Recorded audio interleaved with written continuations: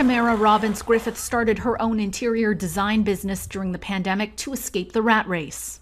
Pre COVID, I had a corporate job with a really long commute. I was always the last mom picking my kids up from daycare, ordering food for dinner in the car on the way there. You know, there just wasn't a lot of flexibility. She says it wasn't an easy decision, and starting her own company came with a lot of risk. But the reward is the flexibility she and her family needed.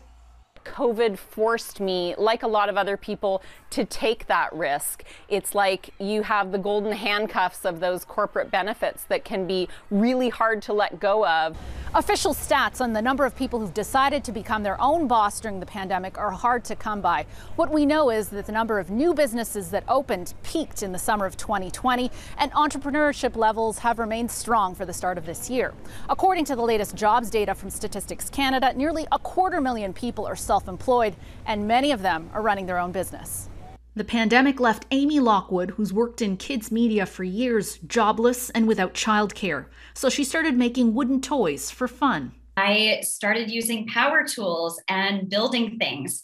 And I'm disabled myself. My son and I both have a genetic disorder that affects all our joints and all our connective tissue. Her dabbling led her to launch a line of toys designed to promote inclusion for people living with disabilities. She launched in November and hasn't looked back since. I sold out of all my toys uh, in less than 24 hours and recouped my initial investment in the first day.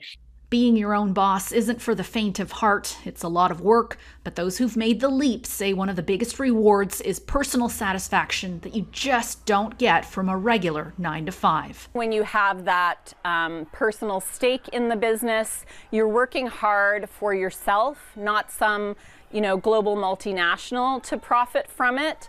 Anne Gaviola, Global News, Toronto.